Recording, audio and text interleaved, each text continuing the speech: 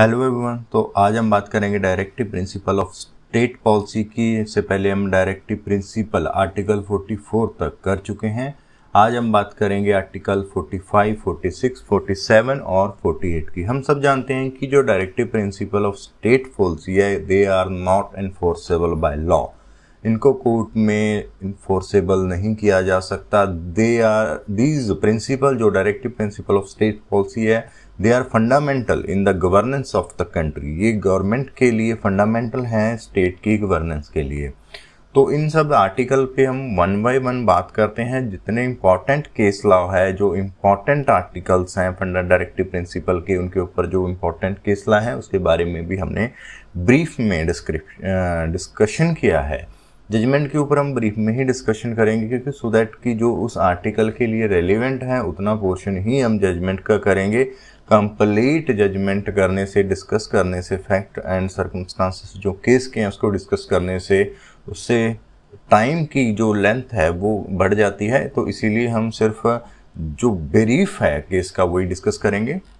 तो चलिए बात करते हैं। सबसे पहले हम बात करेंगे आर्टिकल 45 की। Provision for early childhood care and education to children below the age of six year article 45 क्या बात करता है? प्रोविज़न करता है early childhood care and education की किन को जो छः साल के कम उम्र के बच्चे हैं। State shall endeavour to provide early childhood care state ऐसा प्रयास करेगी कि जो अर्ली चाइल्डहुड केयर है या एजुकेशन है, वो बच्चों को मिल जाए छः साल के बच्चे के उम्र तक के लिए। तो बेसिकली तीन चीज़ें हैं इस आर्टिकल 45 में। अर्ली चाइल्डहुड केयर है एजुकेशन टू चिल्ड्रन किन कौन से बच्चों को? जो छः साल से कम उम्र के बच्चे हैं। एट्टी सिक्स अमेंडमेंट एक्ट 2002 से पहले ये प्रोविज़न ऐसी नहीं थी। इसमें इसमें प्रोविज़न था free and compulsory education for children provision क्या कहती थी? 2002 से पहले the state shall endeavour to provide within a period of 10 year from the commencement of this constitution for free and compulsory education until the age of 14 year 2002 की amendment से पहले ये 14 साल के बच्चे के लिए फ्री एंड कंपल्सरी एजुकेशन की व्यवस्था करती थी। उसके बाद 2002 के बाद ये प्रोविज़न कर दी गई सिक्स ईयर के बच्चों के लिए अर्ली चाइल्डहुड केयर के लिए। सुप्रीम कोर्ट की जजमेंट है Unni Krishna JP versus state of Andhra Pradesh A I R nineteen supreme court. इस केस में क्वेश्चन था कि whether right to education flow from right to life right to education का जो right right है, वो right to life से बनता है या राइट टू लाइफ में इंक्लूड है। तो सुप्रीम कोर्ट ने ये हेल्ड किया था कि right to basic education is implied by fundamental right to life right to basic education है, वो राइट टू लाइफ में इंक्लूड है। आर्टिकल 21 राइट टू लाइफ की बात करता है। Right to free education up to the age of 14 year is a fundamental right amendment के बाद प्रेजेंट जो आर्टिकल था वो ऐड किया गया था। एटी सिक्स अमेंडमेंट टू ने article 21 A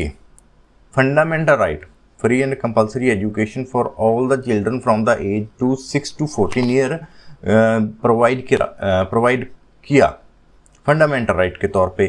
तो 14 साल के बच्चों की जो एजुकेशन की थी, जो कि 2002 से पहले एज ए डायरेक्टिव प्रिंसिपल थी, उसको article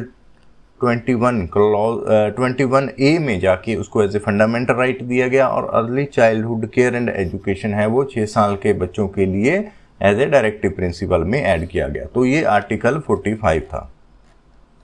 अब आर्टिकल 46 की बात करते हैं। आर्टिकल 46 कहता है कि promotion of education and economic interest of scheduled caste scheduled tribe and other weaker section scheduled caste and scheduled tribe और वीकर सेक्शन के एजुकेशनल और इकोनॉमिक इंटरेस्ट को प्रमोट करना ये स्टेट की ज़िम्मेदारी है। The state shall promote with special care and education and economic interest of weaker section of the people state special care education और इकोनॉमिक इंटरेस्ट करेगी weaker section of the people खास तौर पे शेड्यूल कास्ट और schedule tribe लोगों के लिए और उन्हें प्रोटेक्ट करेगी सोशल इंजस्टिस से, हर तरह की एक्सप्लाइटेशन से उन्हें प्रोटेक्ट करेगी ये स्टेट की जो फंडामेंटल ड्यूटी है। तो इस आर्टिकल में क्या है? Special care and education economic interest उसके बाद weaker section of people S C and S T के लिए ये प्रोविज़न है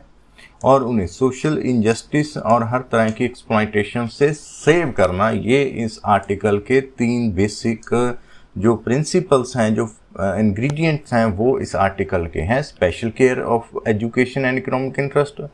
weaker section है S C and S T की बात है प्रोटेक्शन है इनजस्टिस से और एक्सप्लाइटेशन से। Access to education is an important in order to ensure the advancement of a person belonging to scheduled caste and scheduled tribe.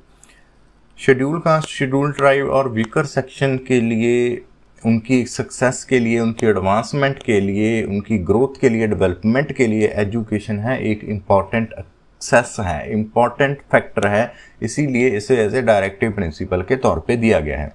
Supreme court ने state of Kerala versus N M Thomas 1976 AIR page number 490 में ये है क्या कि directive principle of state policy are fundamental in governance of the country it cast a duty of the state for the promotion fundamental right हैं, वो governance में governance में fundamental है। Directive principle of state policy, state की governance में fundamental हैं और ये स्टेट के ऊपर ये ड्यूटी बाउंड है, स्टेट को ऊपर ड्यूटी कास्ट करते हैं कि with special care and education and economic interest of the weaker section of the people in the particular scheduled caste and scheduled tribe and protect them from social injustice. तो ये provision हमने देखी कि state duty bound है weaker section scheduled caste scheduled tribe की economic और educational interest को उनको वाच करना है और उन्हें सोशल इनजस्टिस से और एक्सप्लाइटेशन से प्रोटेक्ट करना है। State of Kerala N M Thomas में कहा कि अगर इस तरह से हम इस आर्टिकल 46 की प्रोविज़न को इग्नोर करना, इसकी जो ऑब्लिगेशन इग्नोर करना है तो ये इस सेक्शन के साथ फ्रॉड करना हुआ अगर इस आर्टिकल को इग्नोर करते हैं। कोर्ट ने कहा कि जो बिगेस्ट एम्प्लॉयर हैं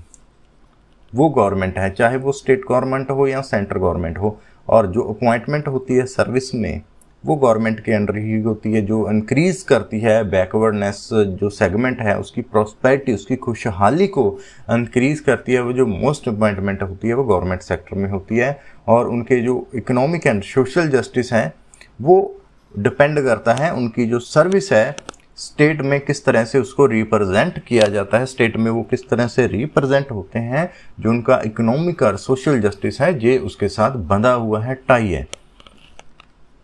Economic interest of a group and also social justice are tied up in the services under the state state के under services appointment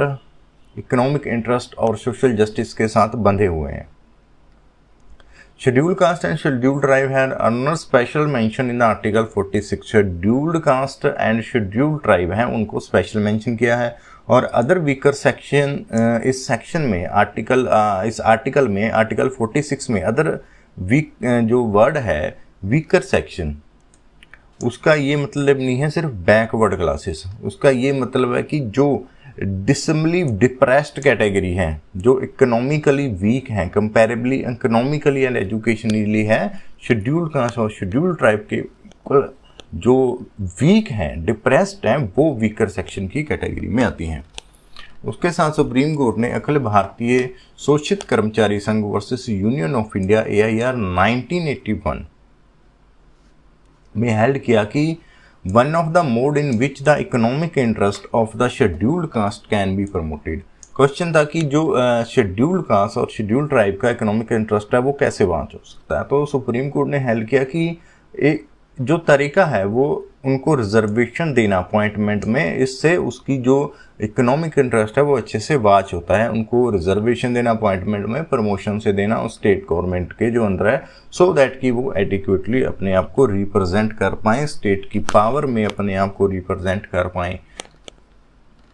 तो आगे जो सुप्रीम कोर्ट ने जो केस था, जो इम्पोर्टेंट लैंडमार्क जजमेंट थी M R Balaji versus state of Mysore A I R nineteen supreme court और Janki versus state of J state of J and K A I R nineteen इस case में court ने held किया था कि considering article 46 the word education and economic contrast the word in particular of the schedule caste it would be legitimate to infer that the expression weaker section use in article 46 six refer to the section of people who though they do not belong to S C and S T but suffer from backward similar to that of S T and S C to the educational and economic interest जो weaker section है, उसमें वो लोग आएँगे जो S T and S T category में नहीं आते बट उनको सिमिलरली बैकवर्डनेस उनके वो बैकवर्डनेस से पीड़ित हैं सफ़र हैं, वो पिछड़ापन की वजह से अपने एजुकेशनल एंड इकोनॉमिक रीजन की वजह से वो पिछड़े हैं तो वो सारे अदर वीकर वीकर सेक्शन की कैटेगरी में आएँगे। उसके बाद जो आर्टिकल है, वो है forty seven uh, duty of the state to raise the level of nutrition and standard of living and to improve public health. State shall regard the raising of level of nutrition and standard of living of its people and improvement of public health as amongst its primary duty.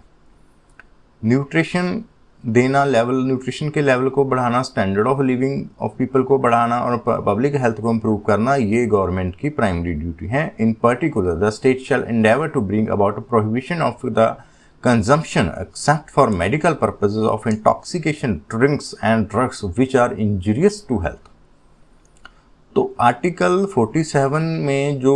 Main uh, ingredient है कि raising level of nutrition and standard of living of people उसके बाद जो second है improvement of health as a primary duty उसके बाद endeavour to bring prohibition of consumption of intoxication drinks and drugs which are injurious to health except for medical purpose nutrition और standard of living को बढ़ाना सरकार की duty है।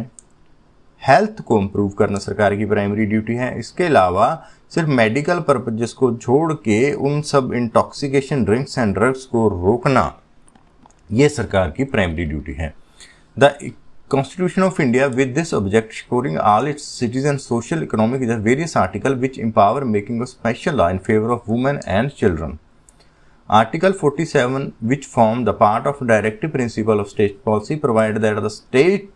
shall regard raising of level of nutrition and standard of living and improvement public health as among its primary duty. तो इसके लिए parliament ने एनेक्ट किया the food security act 2013 to provide food and nutritional security in human life cycle approach. National food security act 2013 2013 national food security act जो था, बनाया गया था सो so दैट कि ह्यूमन न्यूट्रिशन लेवल को बढ़ाया जा सके ह्यूमन साइकिल में न्यूट्रिशन लेवल को बढ़ाया जा सके सबको एडिक्वेट क्वांटिटी में फ़ूड है, वो अफोर्डेबल प्राइस पे दिया जा सके इसमें सुप्रीम कोर्ट की जो लैंडमार्क जजमेंट है, Swaraj Abhiyan versus union of India इसमें कहा था सुप्रीम कोर्ट ने कि आर्टिकल 47 है, वो कॉन्स्टिट्यूशन का वो प्रोवाइड है। इसके साथ आता है कि स्टेट की प्राइमरी ड्यूटी है कि वो न्यूट्रिशन लेवल को रेज करे और स्टैंडर्ड ऑफ़ जो लिविंग है लोगों का, उनको रेज करे। कोर्ट ने हेल्ड किया कि article 47 although not a enforceable directive principle there is a considerable force but उसमें ऐसी कंसिडरेबल मॉरल फोर्स और अथॉरिटी है कि स्टेट को स्टेट गवर्नमेंट को इस जो आर्टिकल 47 में प्रोविज़न दी गई है, उसको इम्प्लीमेंट करने के लिए अटैम्प्ट करनी चाहिए सो so दैट कि लोगों को ख़ास तौर पे जो सूखा ग्रस्त एरिया हैं, उनको प्रोवाइड एडिक्वेट जो सफिशेंट फ़ूड ग्रेन है या कुकिंग मीडियम है, उनको प्रोवाइड किया जाए। उसके बाद बात करते हैं आर्टिकल 48 की, जो कि बात करता है organisation of agriculture and animal husbandry इसमें सुप्रीम कोर्ट ने कहा कि इसमें जो आर्टिकल है आर्टिकल 48 वो कहता है कि state shall endeavour to organise agriculture and animal husbandry on modern and scientific line and shall in particular take step for preserving and improving the breeds, prohibiting the slaughter cow and calves and other milch and draught cattles. तो article 48 के जो ingredient है, वो कहते हैं organise agriculture and animal husbandry on modern and scientific line. उनको preserve करना, उनकी ब्रीड को इम्प्रूव करना काउ स्लाटर को रोकना और अदर जो milk and draught animal cattle हैं, उनको रोकना। सुप्रीम कोर्ट ने अपनी जो लैंडमार्क जजमेंट थी, Mohammad Hanif Qureshi versus state of Bihar 1985 AIR page 731 इसमें जो कॉन्स्टिट्यूशनल वैलिडिटी थी बहुत सी लेजिस्लेशन थी जिन्होंने काउस लेटर पे बैन लगाया था डिफरेंट स्टेट uh, में उनको चैलेंज किया गया था। तो सुप्रीम कोर्ट ने ऑब्ज़र्व किया कि prohibition of slaughter of cow and all age and calves of cow and buffalo male और female constitutionally valid totally prohibition of she buffalo, bull and buffalo, cattle of buffalo after they ceases to capable of yielding milk working as drought animal infring the right of petitioner under article 19 clause 1 sub clause G. Supreme court ने held किया कि जो total ban लगाना है वो सही है but उन एनिमल के ऊपर बैन लगाना जो काम के नहीं रहे हैं जिनकी कैपेबिलिटी ऑफ़ यील्डिंग मिल्क या ब्रीडिंग उनकी ख़त्म हो चुकी है उनको ऊपर बैन लगाना ये article 19 clause 1 sub clause C की वायलेशन है। So act were enacted in pursuance of the directive principle of state policy contain in article 48 of the council petitioner है, वो बचलर के ट्रेड में और सब्सिडरी अंडरटेकिंग वो काम करते थे तो उन्होंने ये चैलेंज किया कि कॉन्स्टिट्यूशनली वैलिडिटी है वो तीन एक्ट की, कि वो उनके फंडामेंटल राइट को आर्टिकल 14 आर्टिकल 19 को clause one sub clause G and article 25 की वायलेशन करती है। तो रिस्पोंडेंट जो गवर्नमेंट की तरफ़ से ये प्ली ली गई थी कि ये एक्ट कॉन्स्टिट्यूशनली वैलिड हैं और ये आर्टिकल 48 की को देख के बनाए गए हैं, जिसमें गवर्नमेंट की ड्यूटी है कि एनिमल को और को रोकना। और ये सुपीरियर हैं फंडामेंटल राइट से तो ये आर्टिकल फंडामेंटल राइट की वायलेशन नहीं करते। बट सुप्रीम कोर्ट ने हेल्ड किया कि total ban on slaughter of she buffalo और ब्रीडिंग बुल और working bulls cattle as well buffalo जब तक वो दूध देने में और सिंचाई के या, और दूसरे काम में आ रहे हैं तो उनकी रीजनेबल है, वो क्लासिफिकेशन उसको रीजनेबल और वैलिड है। उनको रोकना, उनकी स्लॉटर को रोकना रीजनेबल है और वैलिड है जब तक कि वो काम दे रहे हैं। उसके बाद जब वो काम देने के काबिल नहीं रहे हैं तो उनके सलाटर को रोकना। ये article 19 clause one sub clause G की वायलेशन है।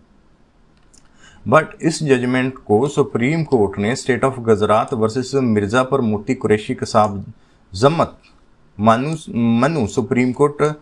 2681 2005 जिसे हम फ़ेमस मिर्ज़ापुर की जजमेंट के नाम से भी जानते हैं। इसमें सेवन जजेस बेंच सुप्रीम कोर्ट ने, जो Mohammad Hanif Qureshi versus state of Bihar में जो प्रेसिडेंट था, उसको ओवर रूल कर दिया। प्रेसिडेंट क्या था कि जो एनिमल काम के हैं, उनको,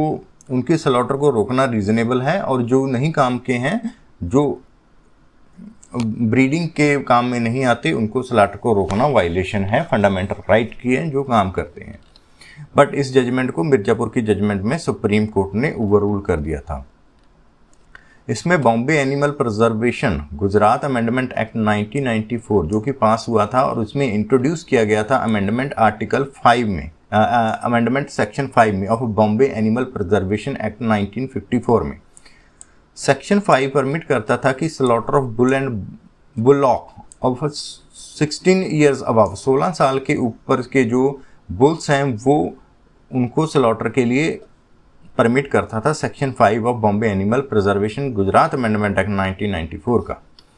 इस अमेंडमेंट के बाद इस एज क्राइटेरिया को डिलीट कर दिया गया और एब्सोल्युटली बैन कर दिया गया स्लॉटर के स्लॉटर ऑफ़ एनी बुल्स और bullocks irrespective of its age and utility उसकी एज से या उसकी यूटिलिटी से लेके कोई संबंध नहीं, इनको टोटली ही बैन कर दिया गया। इसकी जो सेक्शन फाइव की अमेंडमेंट है, इसको चैलेंज किया गया। चैलेंज किया गया था सुप्रीम कोर्ट ने। The question of validity of this amended was raised in the Gujarat high court through a writ petition filed by पहले इसको गुजरात हाई कोर्ट में चैलेंज किया गया।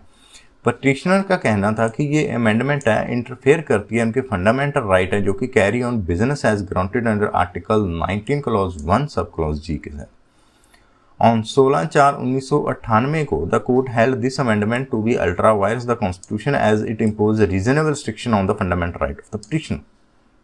court held that restriction placed on the fundamental right of a butler butler and and reasonable as it not conflict with the fundamental right of the butler and made with the legislative competence of enacting legislation. Removing the age limit of cow progeny is done to secure the mandate of article 48 48a and article 51a of the constitution classification of species in buffalo and its progeny is one class and cow its progeny is is reasonable classification cow में और buffalo में classification करना reasonable classification है। तो supreme court ने ये 2005 में ये जो मोहम्मद अनाफिक रेशी की जजमेंट है, इसको कर दिया था ओवर रूल कर दिया था और ये हेल्प किया था कि काउ सलेटर के ऊपर रोक लगाई जानी चाहिए रिस्पेक्टिव ऑफ़ द एज और इट्स यूटिलिटी तो ये हमारे आर्टिकल जो थे आर्टिकल 45 से लेके 48 तक। तो होप आप सबको ये वीडियो अच्छी लगी होगी और वीडियो अच्छी लगी है तो वीडियो को लाइक करें और चैनल को सब्सक्राइब करें। Thank you for watching